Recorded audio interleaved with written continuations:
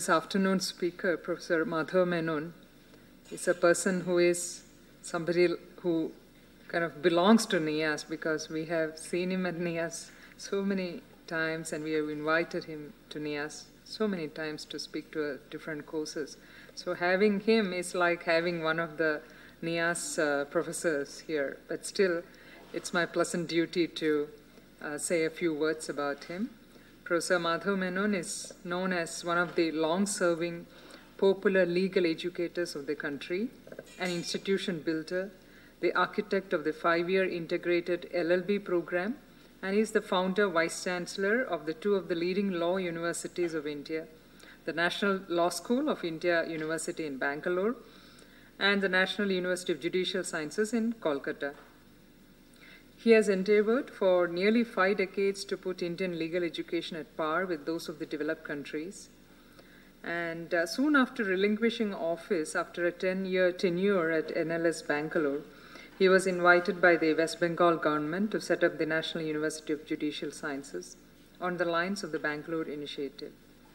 He joined NUJS as the first Vice Chancellor in 1999 and organized its infrastructure and academic programs within a short period of five years. The Supreme Court of India appointed Professor Menon as the first director of the newly established National Judicial Academy, a training institution for a higher judiciary in Bhopal. From legal education to judicial education, from instructing law students to imparting training for judges, the transition put Professor Menon on a new path of scholarship and institutional development in support of the judicial system of the country. He relinquished office as director NJA in May 2006 and is now settled in his hometown, Trivandrum. And he devotes his time now in voluntary services in the cause of rule of law and public legal education. In 2003, he was conferred with the Padma Shri. Professor Madhav Menon.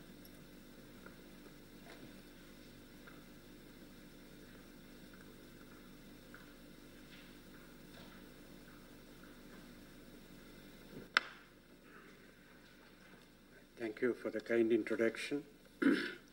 I thank the National Institute of Advanced Studies for uh, having given me yet another opportunity to interact with very learned and experienced people in different areas of science, administration, and industry.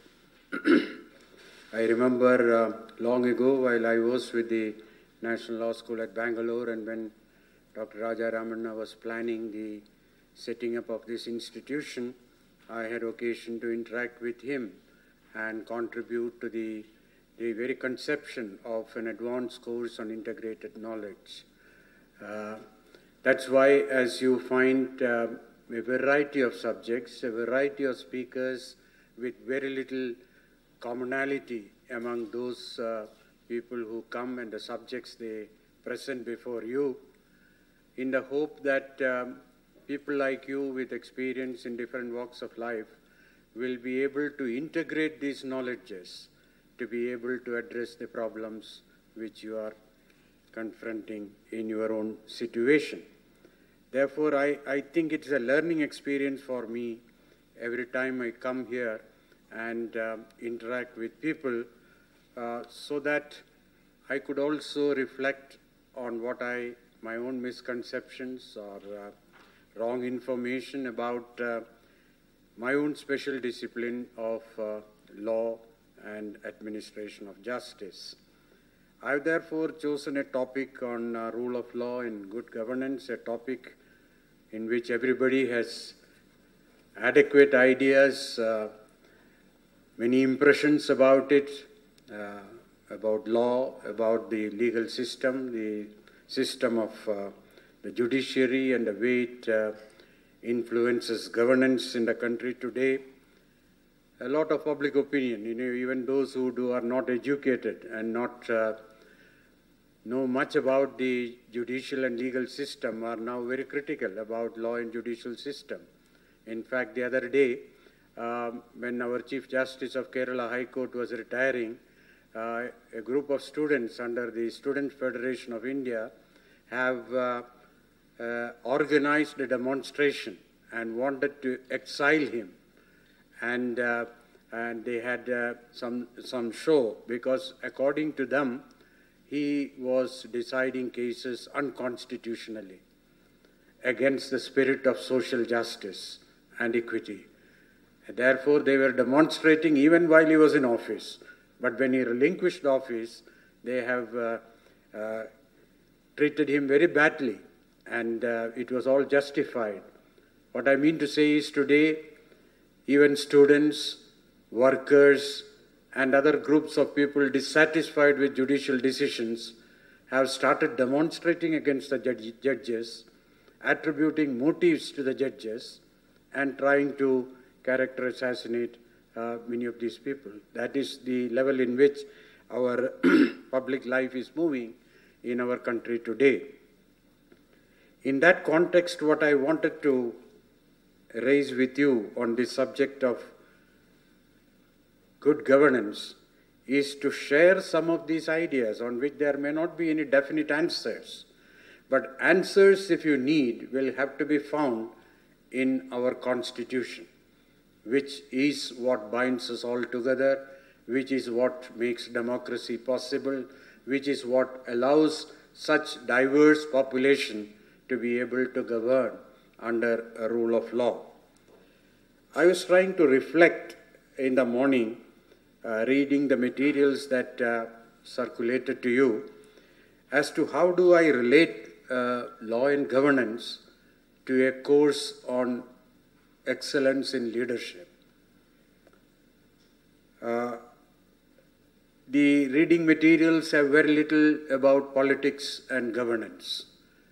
Uh, is it that uh, excellence in leadership is not possible in politics of a democratic country with such a large illiterate population? Uh, or uh, is there something essentially uh, contradictory between democracy and excellence? Is there something antagonistic between equality and excellence or merit? How does the Indian Constitution deal with the concept of excellence, creativity, innovation, issues of that nature, which is the subject that you are deliberating?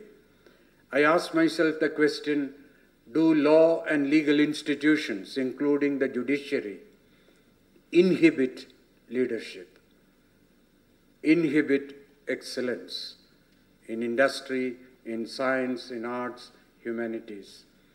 Is law an inconvenient environmental situation for achieving excellence, which is what all our, uh, our intentions are?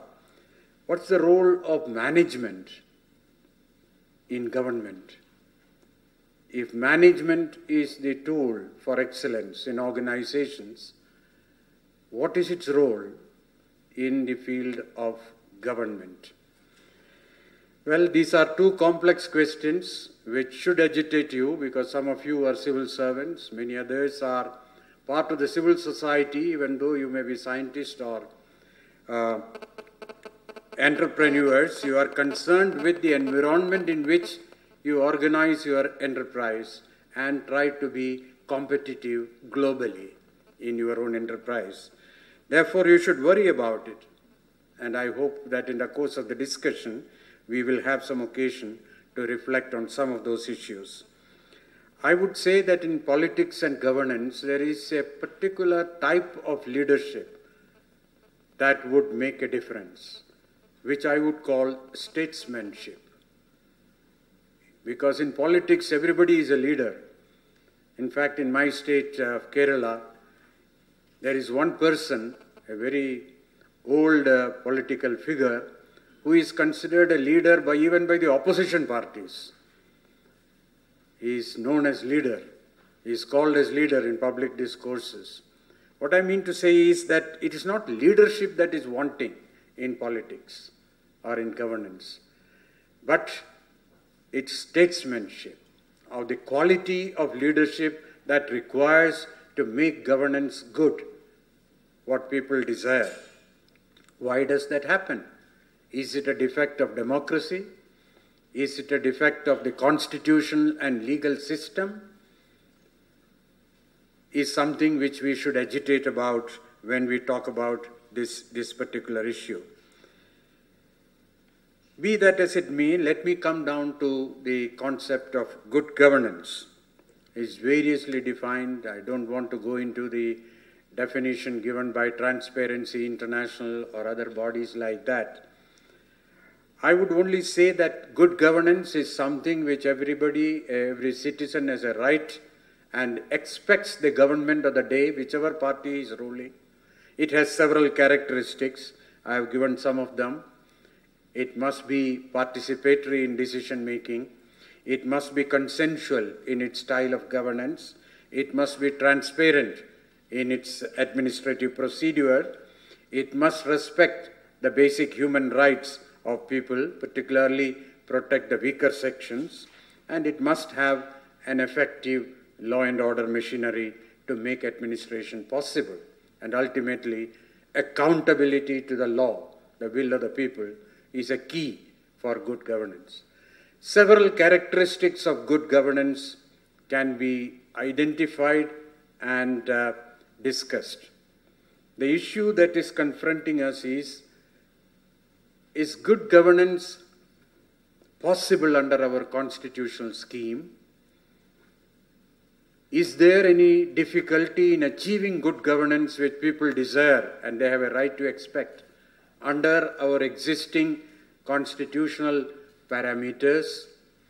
Are there need for changes in our constitutional scheme, which was a subject for examination of the Constitutional Review Commission, which we had about five years ago? Well, by asking these type of questions, you might perhaps get an answer as to how a good statesman, that means a leader of a particular quality, can make good governance possible even in adverse circumstances. That's the proposition that I want to place before you.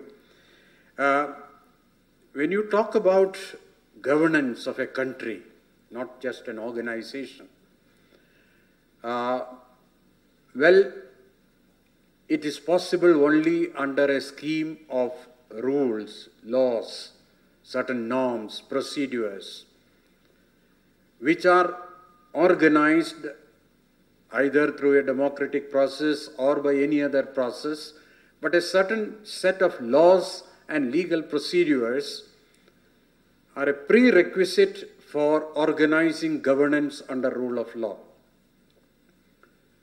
Sometimes people blame these laws for bad governance, but you can change the laws if uh, laws are defective. You, you can, sometimes people say that these are uh, colonial laws, many of which have been retained after we became independent. And that's the reason why you have uh, poor uh, governance. Why is uh, the police not accountable? Why is the police not able to deliver justice, uh, contribute to the delivery of justice? Well, the 1861 Police Act is blamed. But when you have a new police act developed and provided, the very same people do not want to accept it. It's a different story, we can discuss about it. But are the laws that are responsible for not providing good governance today?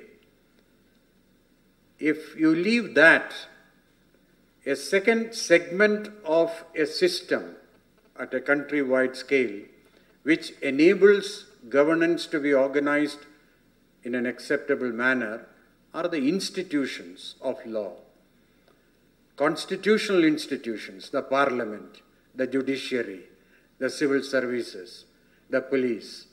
You have number of in the election commission, the Union Public Service Commission. So many constitutional institutions are organized to which power is appropriated in order to enable them to work for good governance. So if institutions are faulty, if institutions are not performing, if they are dysfunctional, again, good governance may not be forthcoming. So, are you to put your blame for bad governance on the institutions? Or are you to put your blame on the laws, the norms and procedures by which these institutions are supposed to work? Well, ladies and gentlemen, there could be a third element in organizing governance under rule of law, and that is the people. When we talk of leadership, usually we talk about individuals in particular positions of organizations. The question, therefore, is if the laws are not that bad, if the institutions are tried out and borrowed and developed over a period of time and is not dysfunctional, then to my mind, the accusing finger for bad governance lies in poor quality of individuals who man these institutions. If that is the case, then we have to see as to why we are lacking the excellent leadership in political institutions, with the result that we are not able to get the type of good governance that the Constitution envisages and the people expect from them. Now, this is the theme on which I would like you to reflect in the next half an hour of my presentation. I mean, this may take us to different areas. Let me submit to you, I don't have a special brief for the Indian judiciary. But I would devote some time to reflect on the leadership of the judiciary in organizing good governance. And here I am talking about not individual leadership, but institutional leadership. In a galaxy of institutions which are responsible to organize good governance for a country of the size of India, would any particular institution be able to cope up with the deficiencies of other institutions of governance? If so, to what extent? And if it can cope up, what would be the consequence of it? Would it be everlasting? Can we cultivate such institutional excellence for long? Because institutions are governed by individuals who keep changing, and you are not have the guarantee that the judiciary will have continuously a good leadership, an enlightened leadership to be able to understand the importance of constitutional values. So you have this problem in hand. And I believe that in a democracy like ours, if the political environment is not conducive, it is going to inhibit leadership in industry, in economy, in education, whatever other areas where you may find an individual excelling at a particular period of time, but it's not able to be sustained without a facilitative political environment which is to be organized. That's why I ask the question is democracy inimical to excellence? Is equity and equality inimical to merit and excellence in leadership? Very uh, troublesome questions, but it's time that we need to ask. If so, does the Indian constitution, which allows or propagates this equity and equality and demands democracy in letter and spirit, is the constitution itself inhibiting excellence? So that if you get out of this country, you can excel as a scientist elsewhere. But if you are in this political environment, very difficult. Then you don't blame the individual who has that intelligence, that creativity, that industry, not being able to achieve his full potential in this political milieu. This is time to be, but if you find, if you make a positive finding to my dilemma, that yes, democracy is an inhibiting factor, then we come to a dead end. We cannot negotiate. Because constitution, which is the will of the people, we the people of India, have given certain parameters under which alone you can pursue excellence. No way out. Unless you throw away the constitution and create another constitution, you cannot pursue excellence compromising the bottom line which the constitution has laid for purposes of individual and collective activity. From that point of view, I submit to you the Constitution, as usually envisages, you know, it's not just a document for lawyers and judges to play with. It is the manifesto of the Indian people. It is supposed to determine the destiny of one sixth of the human race. That's India. It's making life possible in, with such diversity and still contribute to excellence in a global scale. Therefore, uh, my personal position is that the constitution is flexible enough to accommodate various situations where democracy, even if you conceive it as a negative influence, the constitution will allow you to overcome it. I can give illustrations how uh, one can identify such situations. In this uh, situation, I would first very quickly try to give you what is this constitutional scheme that we are talking about, which create an environment which facilitates or inhibits pursuit of excellence, on which we cannot make any compromises. And, and how is this constitution? If you consider the Indian constitution is what the Constituent Assembly adopted on 26 November 1949, your understanding of constitution is inadequate. Even if you add the 100 amendments that have been added to it, still it is not the Indian constitution. You have to look into the large number of interpretations that have come from time to time from the higher courts in India, giving meaning and content to the words and phrases used in the constitution. And even if you add all these things, the spirit of the Constitution lies in certain values which those of you who are living through the freedom movement will be able to appreciate. Those values which are there in the preamble to the Constitution democracy, socialism, secularism, republicanism, freedom of thought, worship, equality of status and opportunity, fraternity among such a diverse population, unity of the nation. Well, these are the fundamental premises on which such a large number of disparate people came together to have a common destiny. And these are not negotiable. Therefore, we fight, we go to court on the definition of the word secularism. Politicians take advantage of it, divide the people, get elected. But still, secularism, we are not prepared to compromise. Socialism, you know, many people have asked me, what are you talking of socialism now when we are going, we are capitalists more than the capitalists themselves? Ladies and gentlemen, my concept of socialism is drawn from the constitution itself. It is not drawn from Marx and Engels. It may be at best drawn from Mahatma Gandhi because he is one of the architects.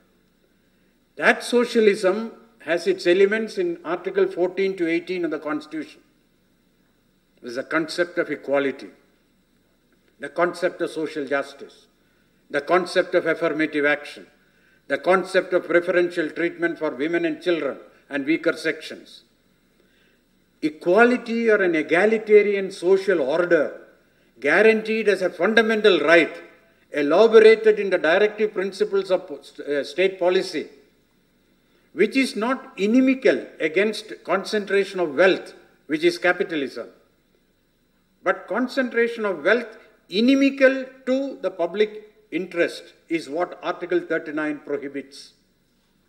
It doesn't say that the public sector should be in commanding heights in order to promote. So that is state socialism of the Soviet variety, which is not the constitution talking about. So please make it clear that our constitution remains socialist, so long as its commitment to equality, equity, and social justice remain. That is socialism. Be whether we have a market-oriented uh, economy or a state-controlled uh, economy is not what makes the difference in this regard. Okay, so therefore I am not going into these greater ideas of social, uh, these uh, constitutional values, but you have to keep this in mind. These are inherently Indian, the character of which are shaped during the freedom movement. And in that historical context only, you will be able to appreciate the constitutional values, which every bureaucrat, every scientist, every teacher, lawyer, judge, whatever, will have to keep in mind and be guided by. There can be different interpretations in different times, but these are constitutional values which I call the soul of the Indian Constitution. The soul has never been amended. The body has been amended. As the human body can be amputated, surgically operated upon, the constitution as a living thing can also be operated. And believe me, you, 99% of the amendments which have been brought into the constitution are in the body, which is immaterial. But the soul remains, and that is what keeps India together when country after country was disintegrating. Democracy was dying. India grew from strength to strength, and the secret lies in this unity in diversity and the flexibility of a constitution which we gave unto ourselves. Now, is it quasi-federal? You know, I, I submit to you a country of this size and diversity cannot be governed by any other method other than a federal structure. New Delhi cannot dictate to Achyutanandan in Kerala or Jyoti Basu in West Bengal. It has to be left by and large to them to develop their respective states. And Achyutanandan cannot sit in Trivandrum and govern the various villages throughout Kerala. Rajiv Gandhi had that vision to see that for every rupee spent on development, only 17 paise reached the beneficiary. And therefore, he devised that the third level of governance is important in order to bring power back to the people. And therefore, a quasi federal, a sort of a cooperative federalism is inherent, is the only method to be able to govern a country of such diversity, such inequality, such variety of languages and religion and uh, cultural traditions. If you travel from Cape Comorin to Kashmir, the type of food, the type of languages, the type of uh, uh, clothes that we wear, all climate even changes.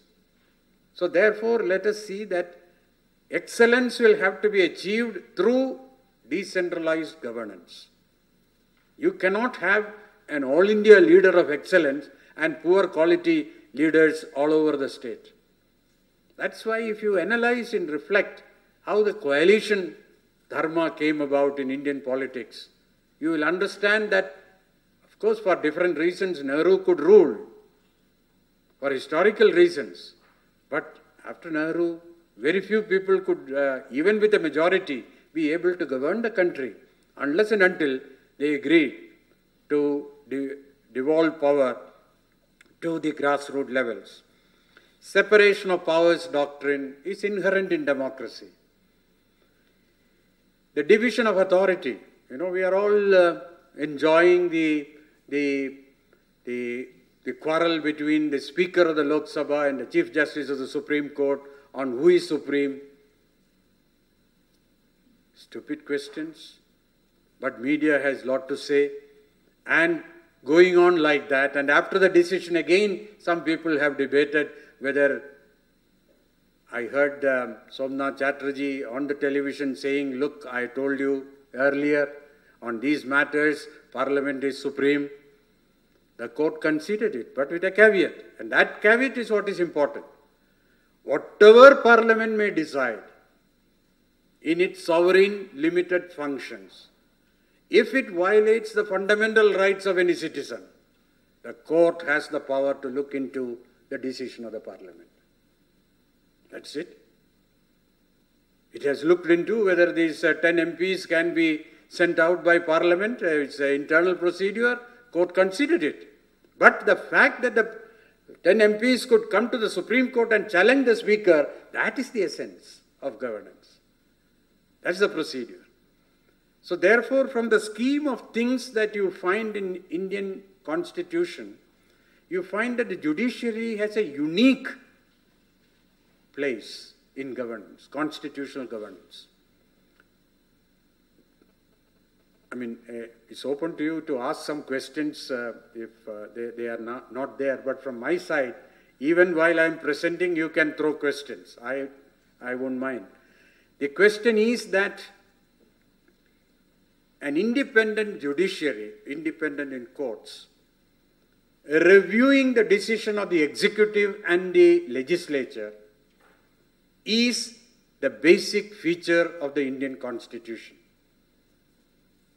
Taken it out, the Indian constitution will be dead.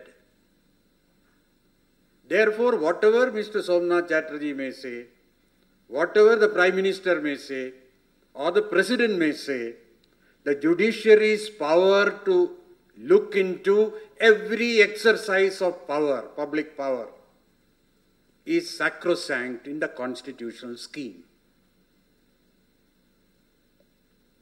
And this is what is conceived in the basic feature. I want to just take your time on this basic feature because ultimately I want you to appreciate the leadership of the judiciary in the Indian scheme of governance. What is this basic feature? How did it come? What was the necessity? Where is it written in the Indian constitution? People ask.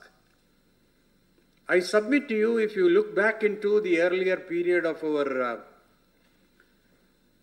political history, you find that in the initial period, accepting the, the abolition of the zamindari being challenged, and that's a different story, let me just reflect few minutes on that. You know, the first challenge in, in the Supreme Court to Parliament's authority was in the passing of the Zamindari Abolition Act. All of us realize that when we became independent, bulk of the cultivable land were in the hands of the zamindars. And it was a promise during the freedom movement given by no less a person than the father of the nation that when we become independent, we will have more equality in land owning, land cultivation, things like that. And zamindari abolition was a promise. And therefore it ought to come. People welcome it. The issue that was debated was the right to property. You know, we had seven fundamental rights at the time when the Constitution was written. Today we have only six. The casualty was right to property. How did this casualty occur? Must be a lesson to every thinking Indian. The Zamindari Abolition Act, which is a power of land acquisition, which now for SEZ government is indiscriminately exercising, the land acquisition power is part of the sovereignty of the state. And when Zamindari Abolition Act was uh, passed and implemented, the Zamindar said, okay, you have the power to acquire my land, but you have the duty under Article 31 that whenever my fundamental right is taken away for a public purpose, you shall compensate. Land, private land shall not be acquired for public purpose excepting by pay of compensation. What the lawyers argued before the court was that compensation means market value. The government was not in a position to pay market value for so much of zamindari land in the hands of so many zamindars. So, government, uh, said, when the court said, yes, we agree that it is market value before you acquire private property, yeah, Pandit Nehru was aghast in parliament and said, look, what these judges are living in ivory towers. Where would the government of India bring all this money from to pay these zamindars the market value? This is not the intention. Therefore, they amended the constitution, the first amendment, saying that value or compensation will be given, but the quantum of that compensation shall not be justiciable in a court of law. Again, Palkhiwala went to the court and said, My lord, look what they did. Your Lordship has said that it must be market value. Now they said that this is not justiciable. Is it not a fraud on the Constitution? The judge just nodded their head and said, Yes, it's a fraud on the Constitution. And struck down the constitutional amendment.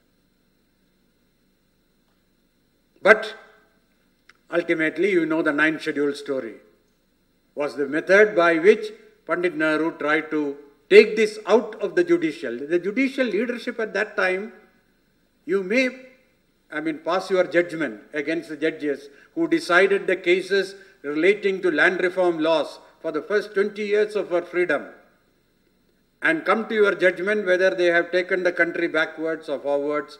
But ultimately, because of this type of interpretation of compensation word in terms of Oxford Dictionary and not in terms of the socio-economic context of India, the result was Parliament had taken Article 31 right to property itself out of fundamental rights and threw it out.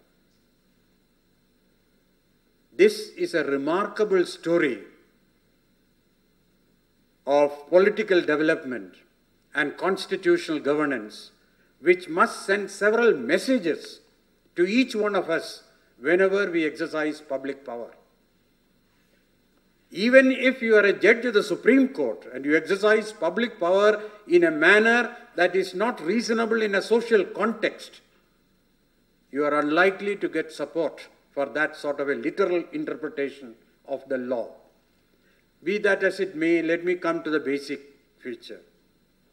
You know, thereafter, the bank nationalization, the privy purses abolition, a large number of so-called socialist initiatives that it was the time of legislative activism, not judicial activism.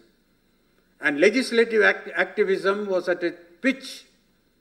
And when emergency was imposed, that was also legislative activism. To defeat a verdict of the, of the uh, Allahabad High Court, executive exercised its power and pushed a legislation through parliament defeating the purpose of rule of law. And that sort of an absolute power or arbitrary exercise of power is inimical to the constitutional scheme. And emergency was the time when things turned.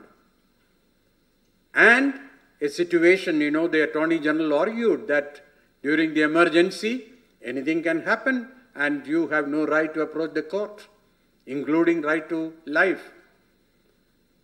That was the time in which absolute power on the part of the executive enjoying an overwhelming majority in parliament. A negation of democracy. It is a majoritarian rule where minorities will not have any authority in a democratic system to be able to challenge an authoritative decision, an arbitrary decision, inimical to the interests of the larger public good. Now, what should the government be, the judiciary be doing in such a context? If this is the case, Parliament tomorrow can pass a law and say, look, Parliament, the Constitution says that every five years we must go to an election. Why should we? We pass a law saying for the next 50 years we will be the Parliament. Every parliamentarian will vote as they voted during the Office of Profit Bill. They voted for themselves. Then for what will happen? Is a law duly passed by Parliament and judiciary should put its stamp on it? Judiciary said nothing doing. That is because you are a creature of the Constitution. Your power is limited under the Constitution. When you exceed that power, you are not exercising power under the Constitution. That is, you can throw away this Constitution and create a new Constitution. But if you are a creature of this Constitution, you will not have the power to alter the basic feature of the Constitution. Very good principle. I suppose nobody can take objection to it. Now, that is the turning point in which the judiciary got an upper hand in matters constitutional, touching upon the fundamental values of, of limited government, of accountable government, of government which exists for some basic values as prescribed under the Constitution.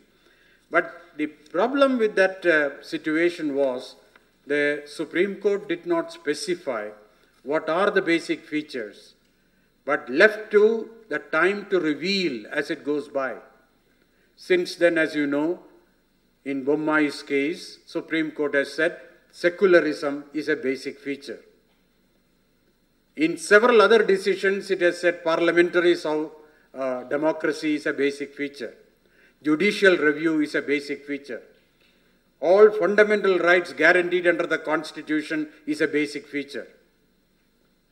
So if judicial review is a basic feature and nothing can be taken out of judicial scrutiny, whether legislative or executive action, that's the reason why ninth schedule was uh, said to be within the scope of judicial review. Parliament cannot pass any law, put it in the ninth schedule, and close the chapter against the scrutiny of the judiciary.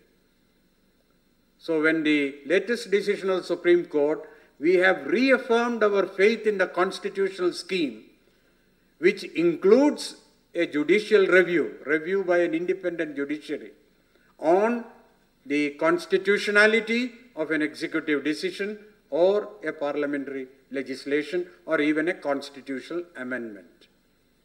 Ultimately, you can say the Constitution is supreme, not the Supreme Court, because the judges are also bound by the Constitution. And uh, if you point out to the judges that they cannot interfere with a policy, then they cannot.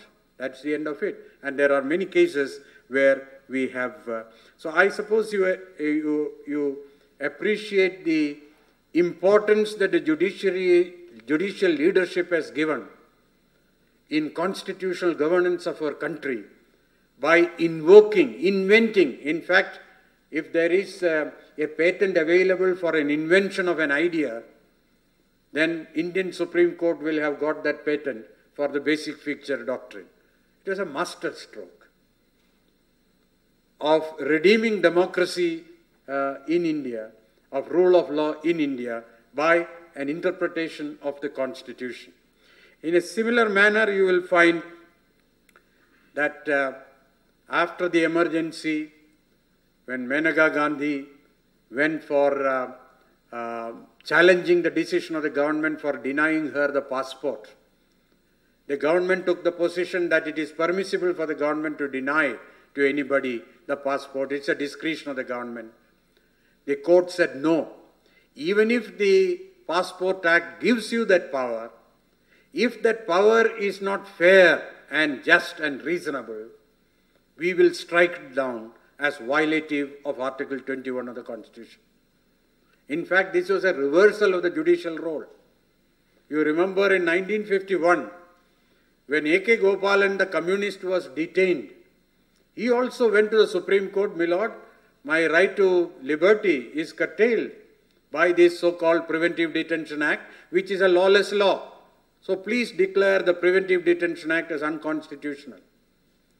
The court said, look, Parliament, uh, your Article 21 right says nobody shall be deprived of his right to life and liberty except according to procedure established by law. Now, you say that your right of life and liberty has been taken away. Is it under a law? Yes, it is under a law. Is that law duly passed by Parliament and notified? Yes, it is passed. Then, Mr. Gopalan, go back to the jail. You have no remedy. This was the answer of the Supreme Court in 1951 to the interpretation of the very same provisions. Whereas 28 years later in Maneka Gandhi, they have reversed that role. They have seen what politics and governance can havoc it can wrought in a country of this size. All types of people become leaders in politics and they can do this type of thing. The court says it is not the end of it. Even if you give reasons, we will still examine whether your reasons are reasonable.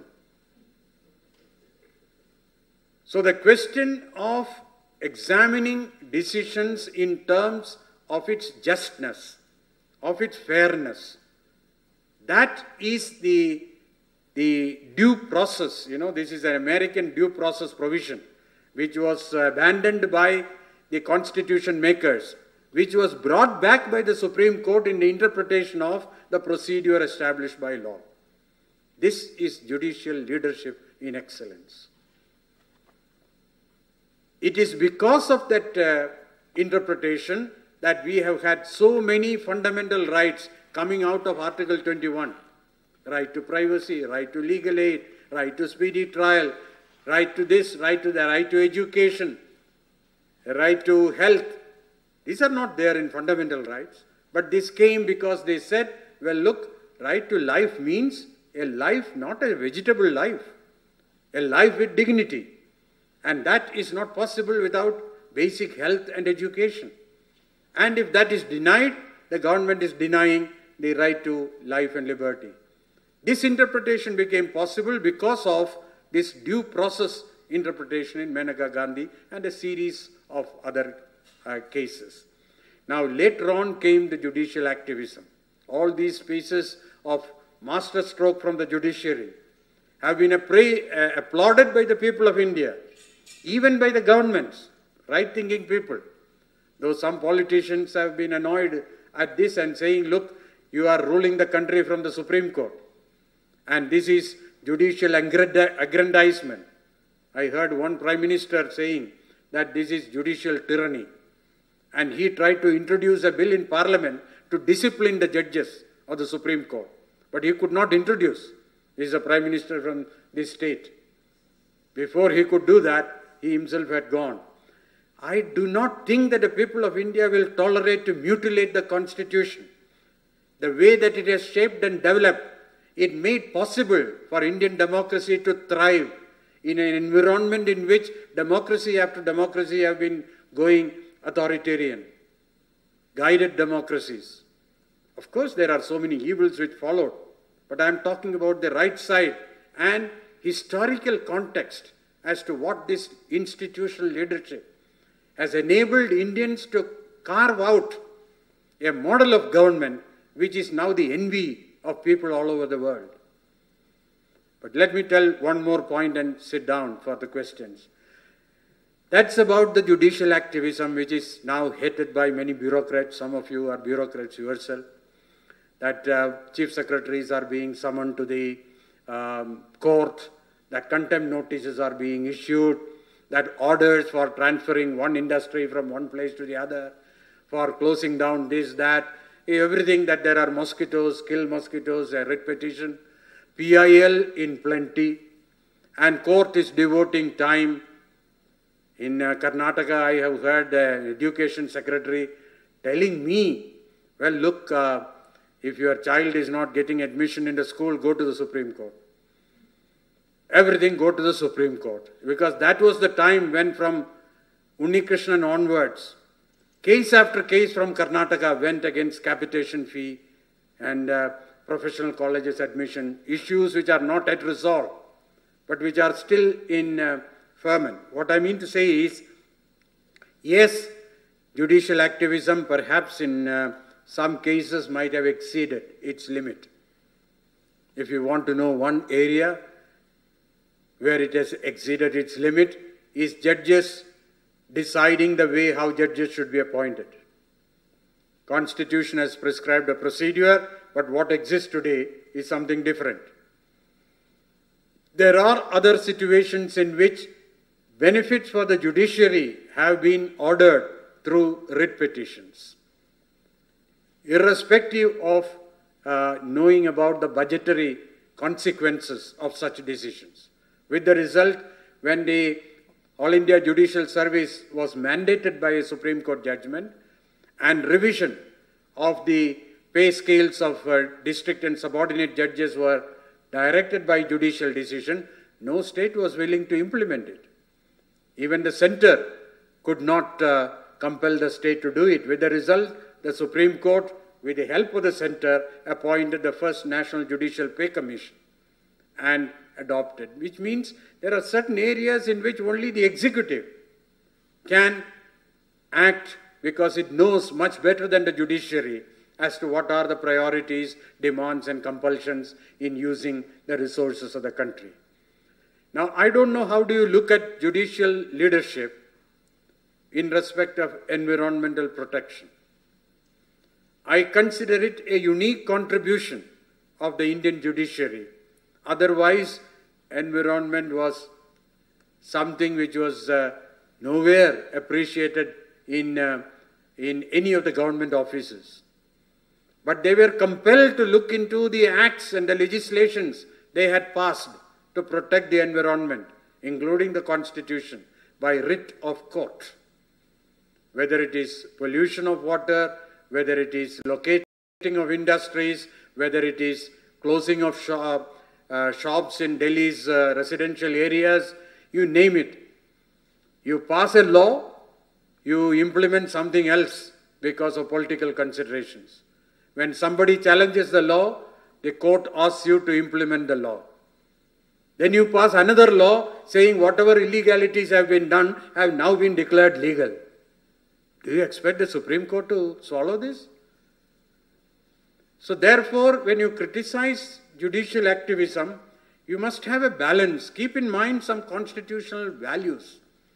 The division of powers, the check by the independent judiciary in mind before you pass judgment on the judiciary.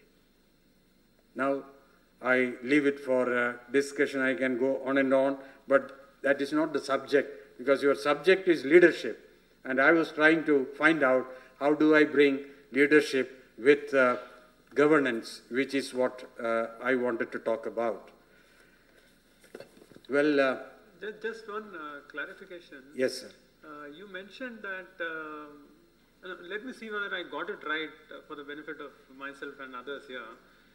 Uh, would that mean that when the legislator makes a bill or an act or pass a, pass a rule of the law, um, the judiciary will automatically, let's say it's an amendment to the constitution, will the judiciary have a sort of a oversight on that law? No.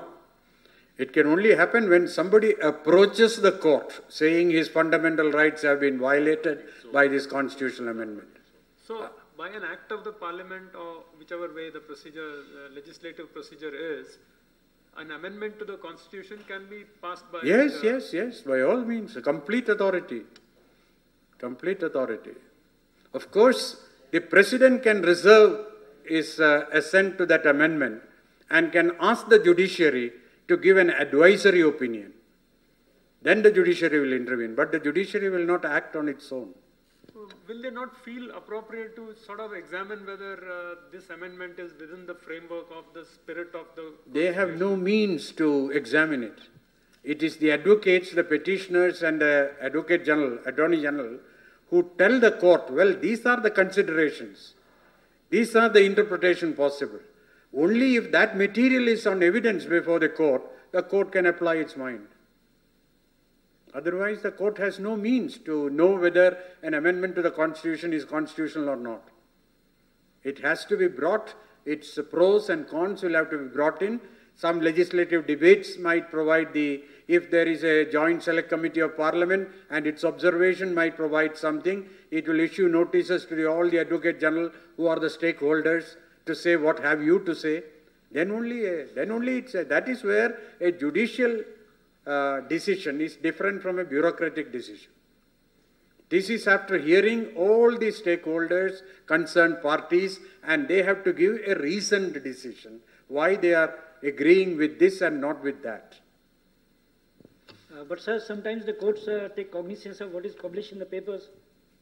Very seldom, if it affects the fundamental rights. Say, for example, I know of a case in Gujarat where a lady, uh, when her husband who was working in ONGC died, she was trying to get her uh, his provident fund uh, money, and for some technical reason, the ONGC was not releasing the money. Two and a half years, she went from pillar to post. She was from Kerala, had four children. So she went back to Kerala because she could not sustain herself in Ahmedabad and in desperation wrote a letter in the Times of India in Ahmedabad that if the ONGC does not relent and give me this PF money, I have no option excepting to commit suicide with my four children.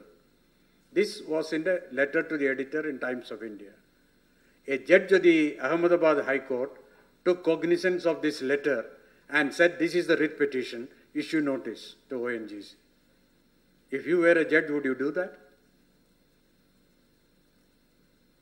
Why do you invite work for yourself?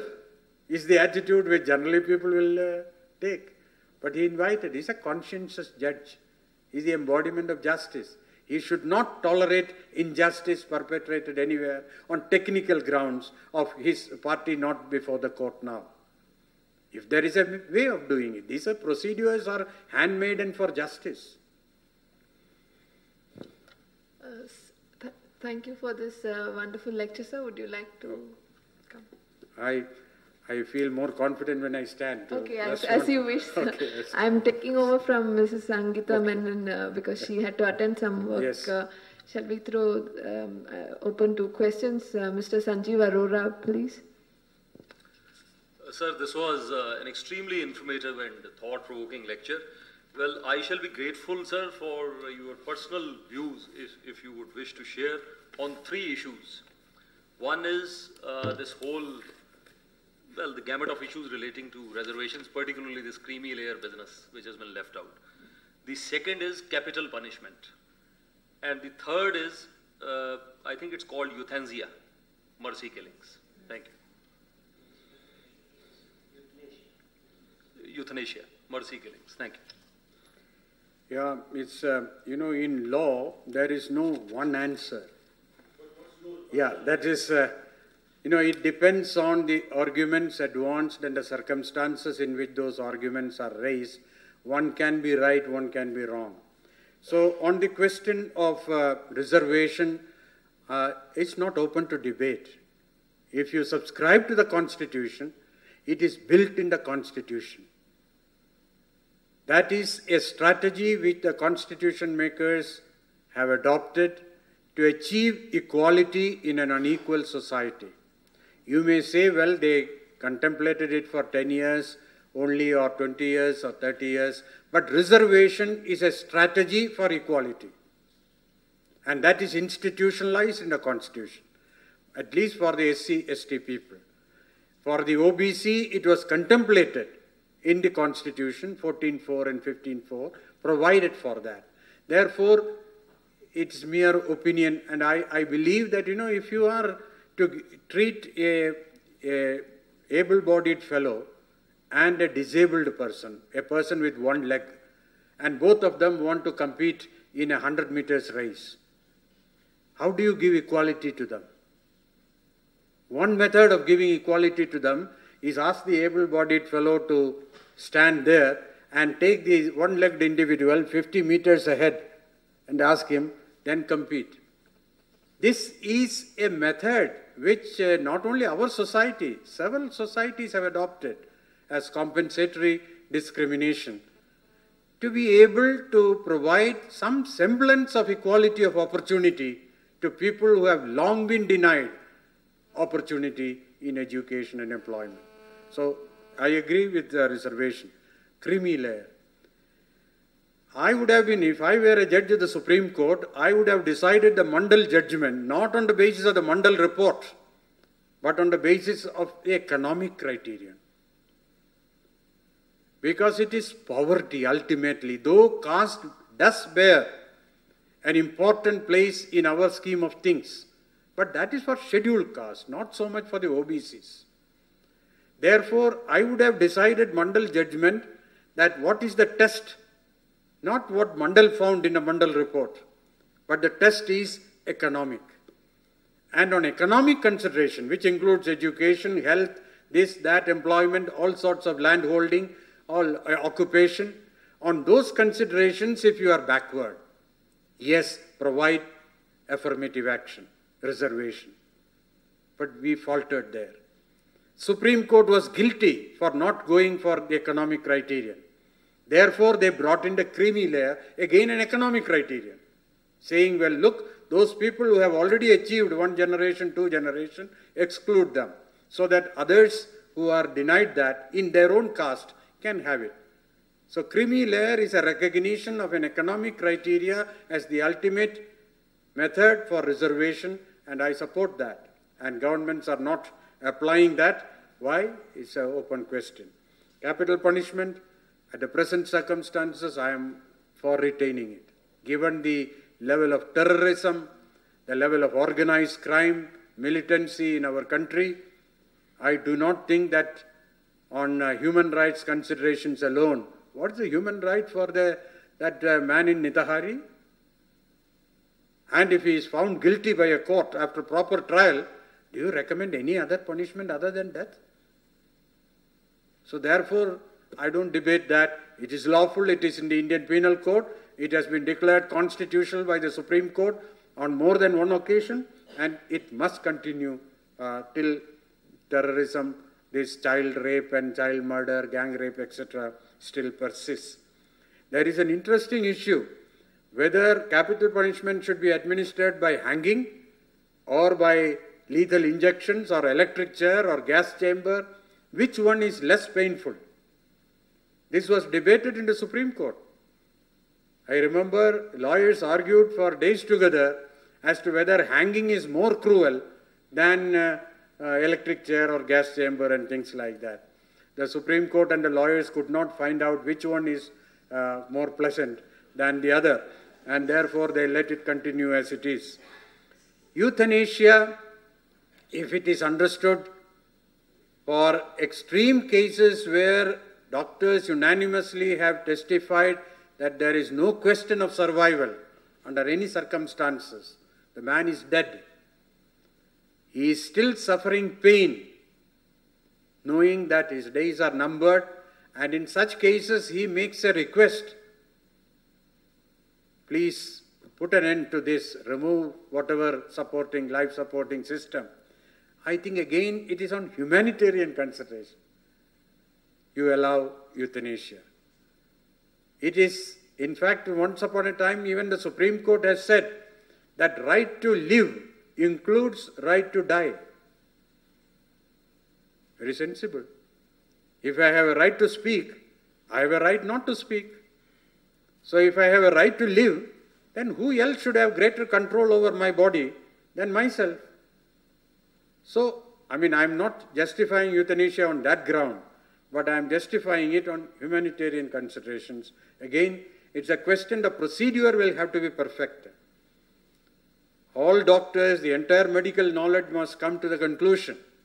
And the person has voluntarily, or somebody else, if he is brain dead and not give his consent, somebody else who is responsible, his own children, whatever, want uh, not to see in that condition, I think society has, is obliged to allow uh, euthanasia under such limited conditions.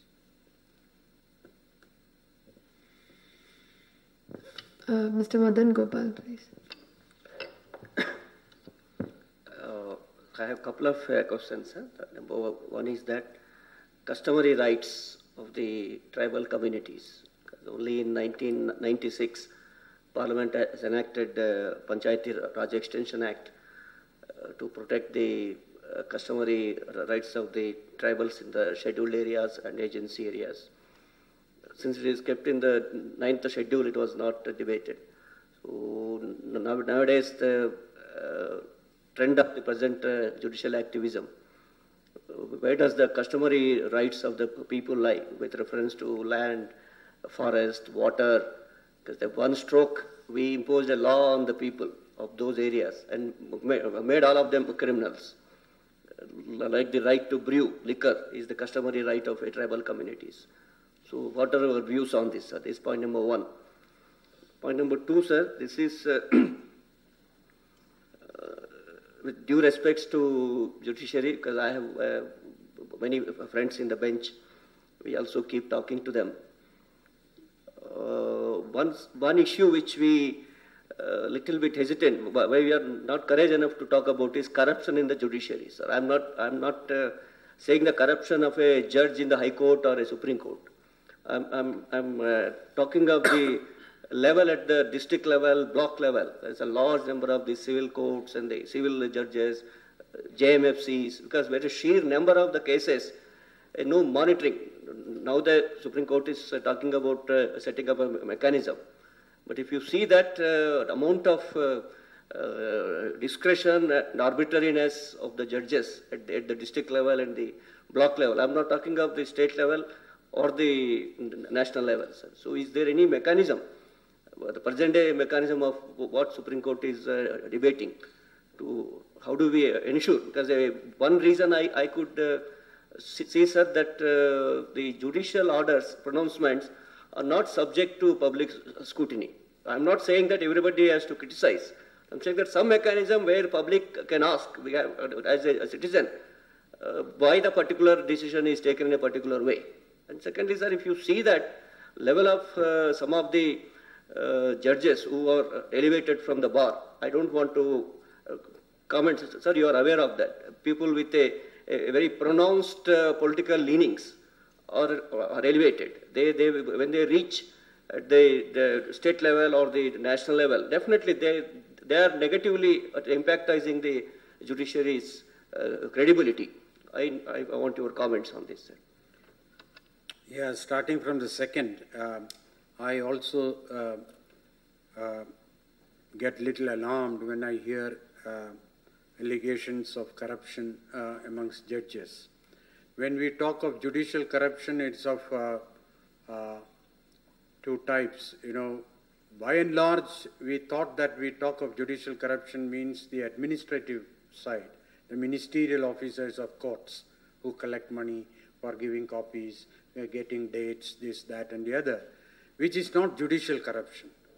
But we are talking of judicial corruption, that is where judges either collect money or favors to give a decision in favor of a particular.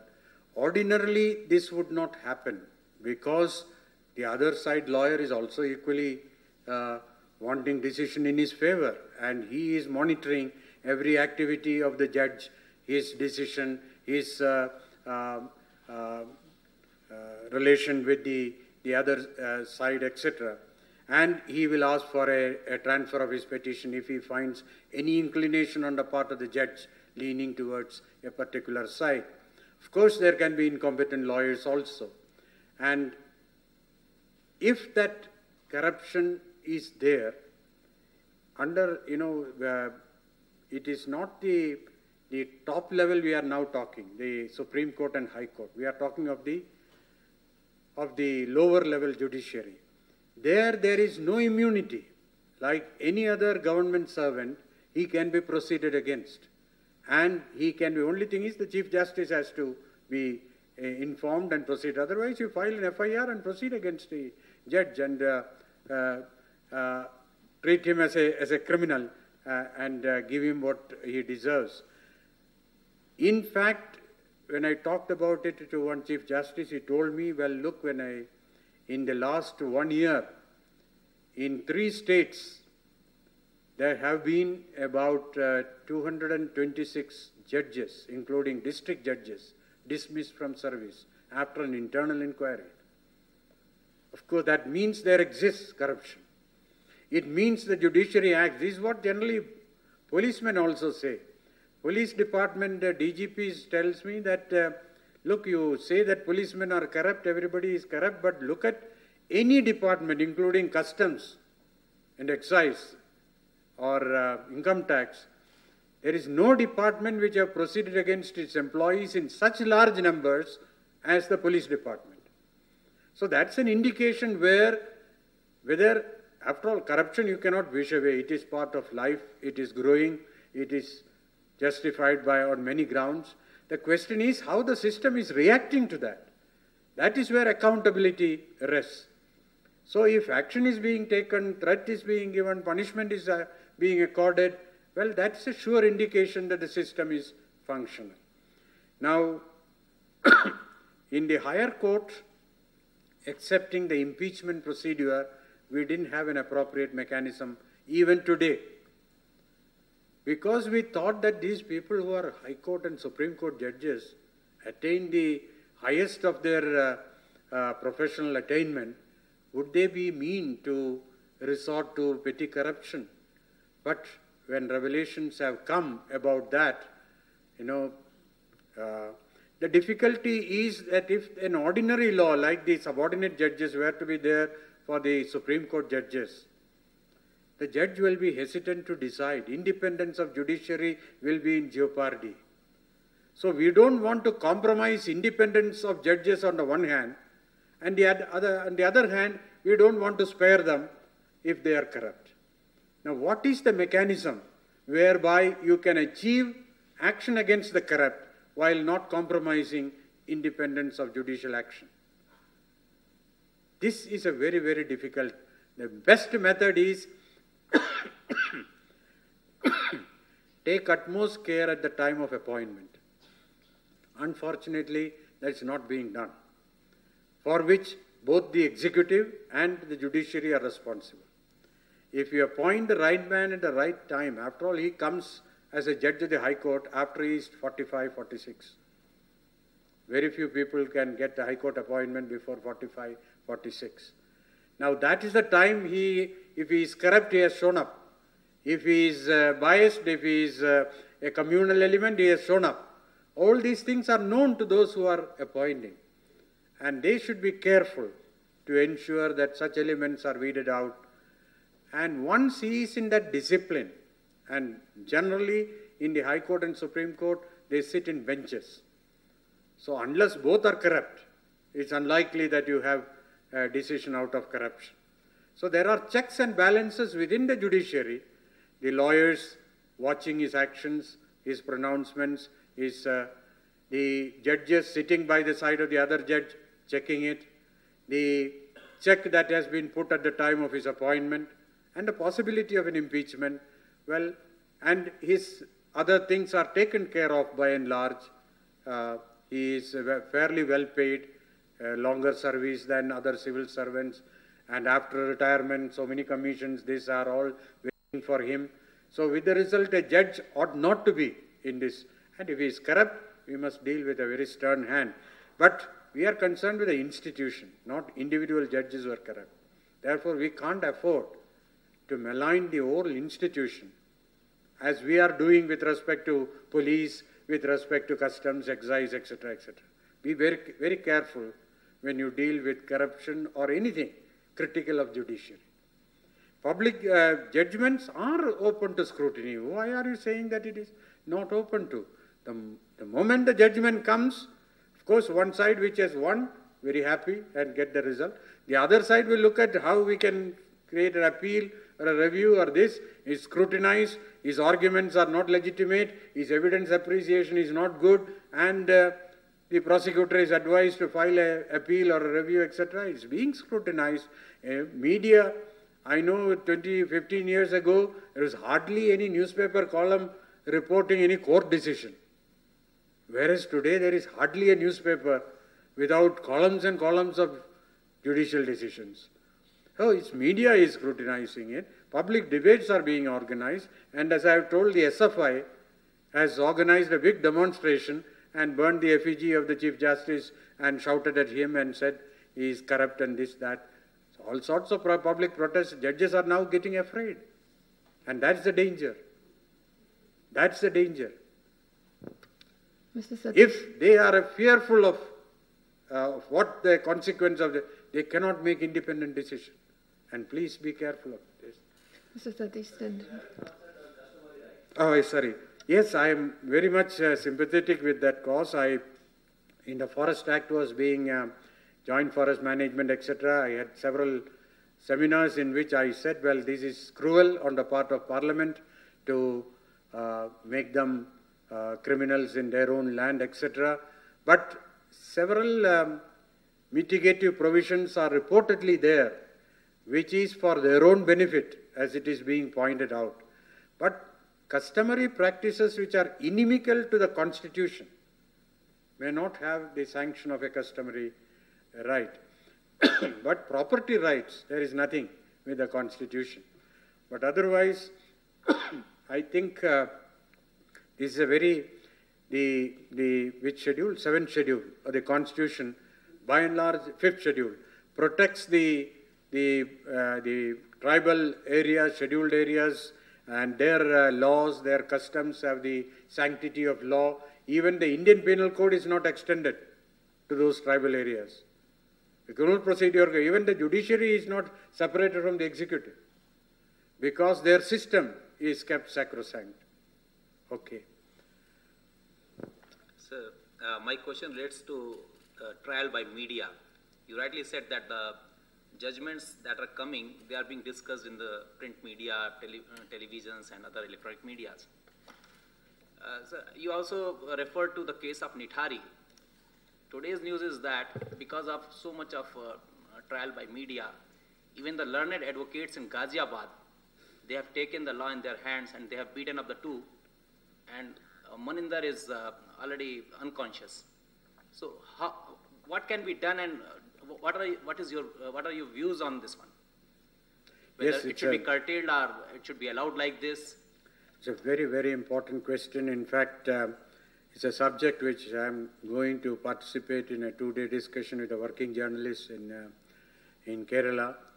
You know, let me say in terms of three or four propositions. Proposition one, media in a democracy is as important as judiciary to keep public life uh, qualitatively uh, different. Media, therefore, cannot be dismissed as not an institution worth preserving. It is worth preserving in all its. You must allow the maximum freedom to the media. That is why Article 19.1 says that you cannot interfere with media freedom excepting in what is said in Article 19.2, nothing else. That is proposition number one. Proposition number two, there is a difference between criticizing a judgment in the media, that is post trial. That is always welcome, so long as you don't attribute motives to the judge for the decision. You must tell, you know, even if you say that uh, the media says that the judge did not know the law, no problem. It is justifiable criticism.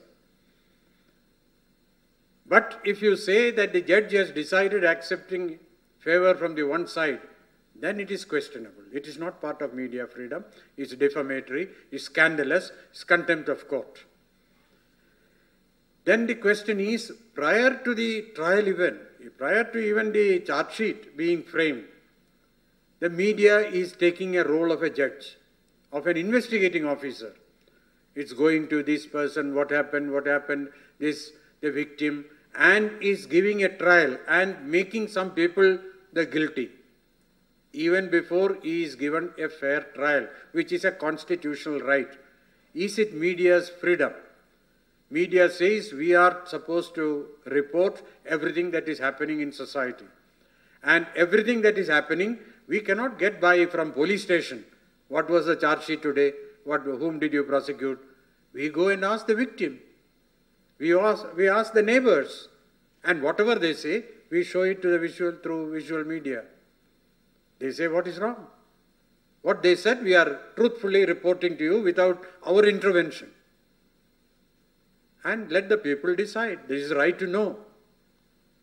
People's right to know. But the only question is when that matter is sub judice, what the statement given to the police is one thing, what the statement given to NDTV is something else by the same person, and that same person is not prepared to come to the court and testify what he said to the NDTV, then the problem arises interference in the course of justice. Now, by that, if there is a blanket ban on media to report on cases sub judice, then you are paying a heavy price for right to free, freedom of uh, no, uh, right to know and freedom of information. Therefore, this cannot be legislated. This has to be discussed, and some professional ethics norms will have to be evolved by the press council or similar bodies for media. Otherwise, you can't say sting operation is wrong. What uh, that uh, what is that? Uh, Tehelka, Tehelka has done is wrong. Why? It has done a great public service to expose uh, corruption in the defense. Uh.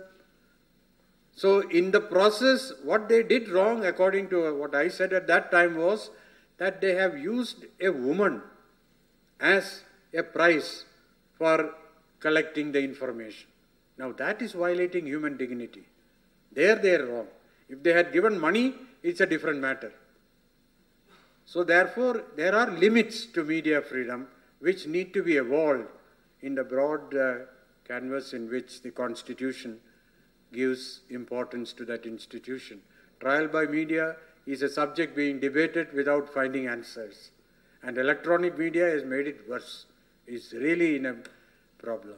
And judges seeing that, now they, I heard one Chief Justice saying judges should not see the electronic media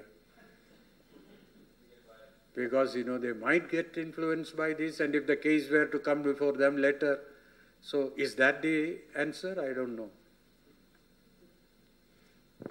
Sir, I have a couple of uh, questions. Uh, you know the Constitution is supreme in our country. The three articles of the government have to work within the framework of the Constitution. The judiciary, while performing the function of interpreting laws, in the process, they create a law and they are virtually, you know, opposing themselves to the Supreme. Is it right on the part of the judiciary to do so? That's number one. Number two, the conflicting decisions on the same issues or, you know, to, to feel that they virtually contribute to the bad governance in the country. hmm? Pardon? Bad governance, you know, this kind of conflicting Mm, mm, decisions are contributing to bad governance. But you may sir, throw some light on this. very good questions i don't think that i will be able to uh, satisfactorily answer these uh, yes on the first question i have no doubt in my mind judges while interpreting the law do create the law Judges, while interpreting the Constitution, create new meaning to constitutional provisions. That's what they are meant to do under the Constitution. So, if they do what the Constitution expects them to do, is it wrong? It cannot be. So, somehow, in a system in which there is division of powers, in which conflicts are inevitable, there must be a third arbiter who has no stake to interpret the provisions of the Constitution in terms of that dispute, facts of that dispute. And in the process, if they lay down what is meant by the term in the Constitution, well, that is the mechanism which the Constitution has created. So, therefore, the, in, in America they said that uh, the Constitution is what the judges say it is. In the American Supreme Court, the American Chief Justice said that the Constitution of America is what the American Supreme Court say it is. It's as simple as that. But after all, the judges are not deciding in a vacuum. They are deciding after hearing counter arguments, all types of arguments, giving their reasons why the constitution makers interpreted the word compensation in this manner.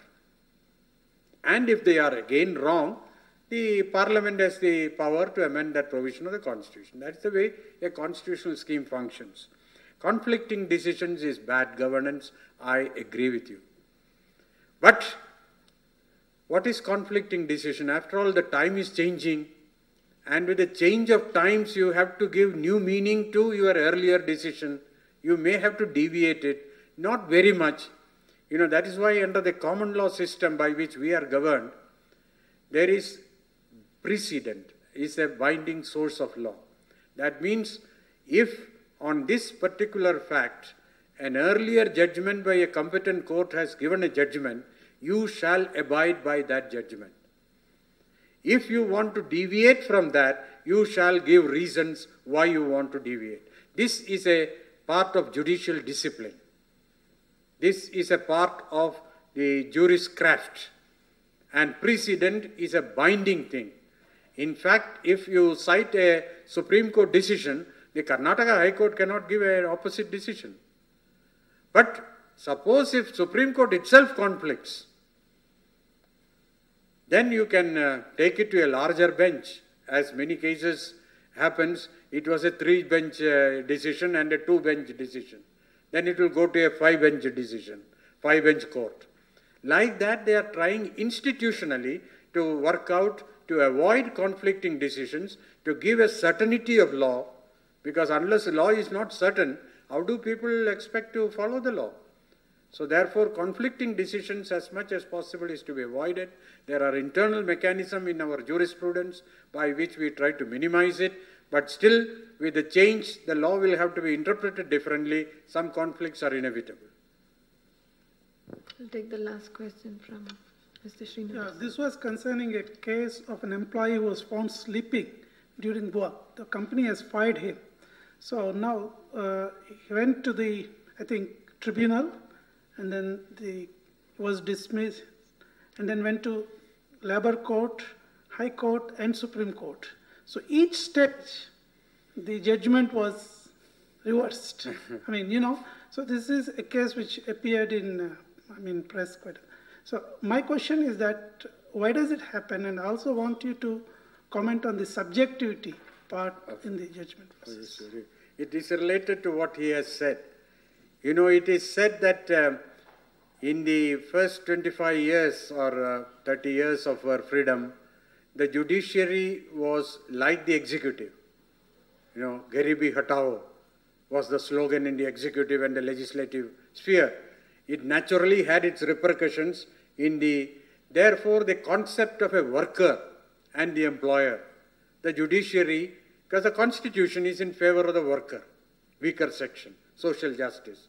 So labor law was interpreted as pro-worker by the court. That is why the Bangalore water supply case, the whole concept of industry and the, the workers' benefits, the social security systems have all been pro-labor. But a stage has come in which the court is being told that the government is adopting a new economic policy. And under the new economic policy, there will be a rearrangement of this employer employee relationship. And policies are being put forward accordingly. Therefore, accepting in fundamental rights, fundamental rights, there is no change. Policy cannot change fundamental rights. But outside fundamental rights, in employment rights, which is not fundamental rights, there can be policy changes that are possible which the judiciary will have to honor. Therefore, when it comes to the question of contract labor, when it comes to the question of retrenchment, when it comes to the question of employee discipline, attacking the employer, or sleeping at uh, working hours, the court is taking signals from the policy changes which are coming in the law. The law is also, the Contract Labor Act and uh, similar laws are being passed. It is coming in the law. You are creating SEZ and saying labor law is not applicable. What does it give?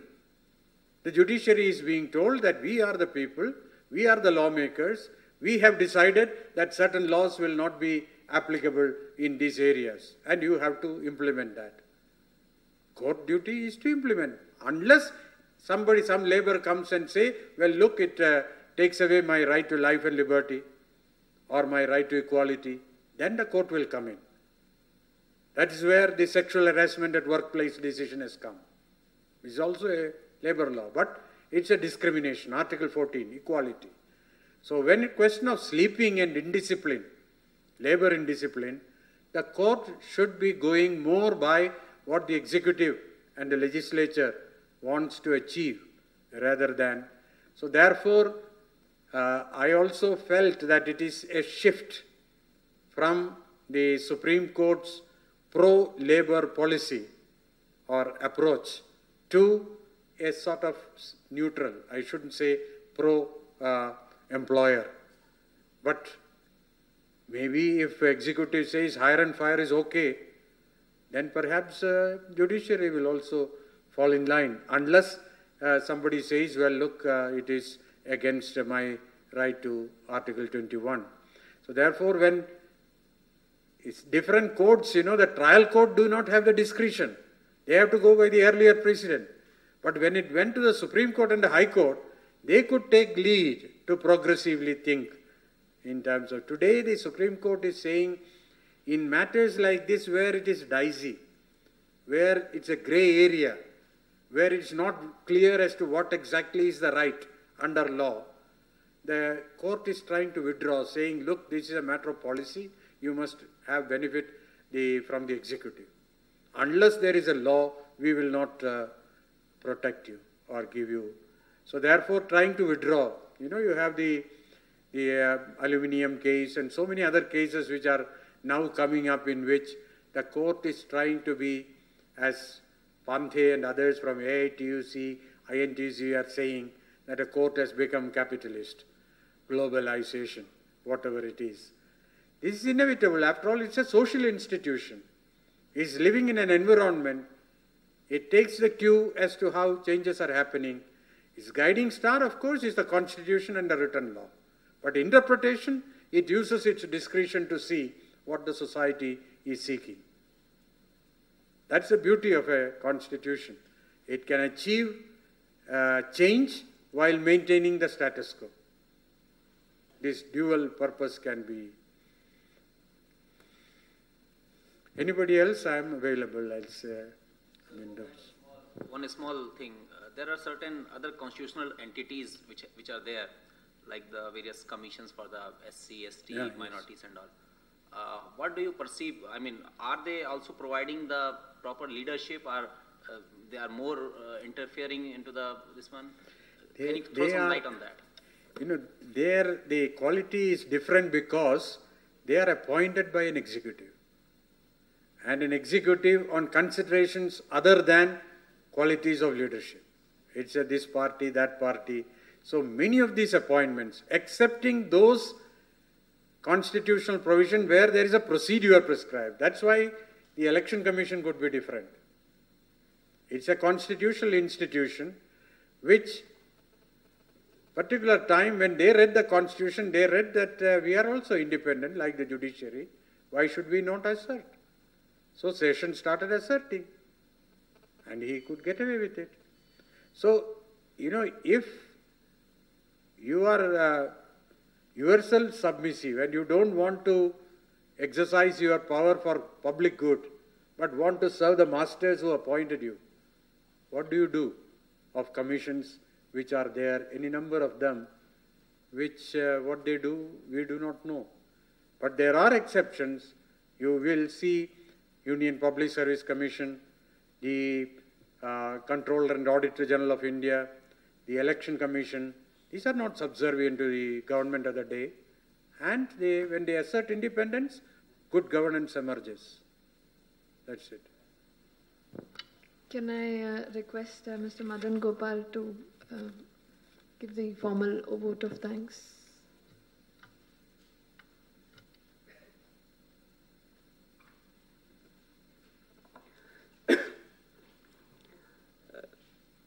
Dr. Madhav Menon, uh, representatives of NIAS, and my fellow participants. Uh, it's a maybe coincidence, sir. The person with, uh, in my official capacity as Commissioner of Public Instruction, facing the largest number of contempt cases by any officer in Karnataka as on today, uh, has to propose the vote of thanks to a uh, living legend. Uh, those of us in Karnataka cadre know about you, sir, the struggle, the entire efforts which you have taken to establish the National Law School. You were the pioneer in the legal education in uh, not only in Karnataka but in India and, and the world. It's our, it's my privilege to propose the vote of uh, thanks to you, sir. I have to make a special mention that uh, as Commissioner of School Education uh, and also a friend of many of uh, uh, social activist groups dealing with the child child rights. Uh, your recent effort of uh, uh, ensuring a new Juvenile Justice Act, which takes the child's from the point of view of compassion and attention as a role to play in the Juvenile Justice Act. I think some of us may be aware or may not be aware, but that is a pioneering, it's a very progressive legislation, any measure anywhere in the world. So Juvenile Justice Act, which is now coming to force, uh, I think, sir, your uh, presence uh, is, is a great experience to us, and uh, as I personally feel that uh, many nowadays we have very few speakers who could uh, put the things in a very lucid, simple language. We have people who speak even a simple things in a complex and uh, incomprehensible way. To have uh, put the entire uh, rule of the law and the whole dimensions of uh, constitution and the basic features in such a simple, lucid, in a very uh, way, any even a common man or a layman can understand. On behalf of myself and on behalf of my fellow participant, I once again thank you, sir. Thanks. On behalf of NIAS, we thank you very much for coming here today, sir. Uh, please accept our uh, small token of appreciation, a memento from NIAS and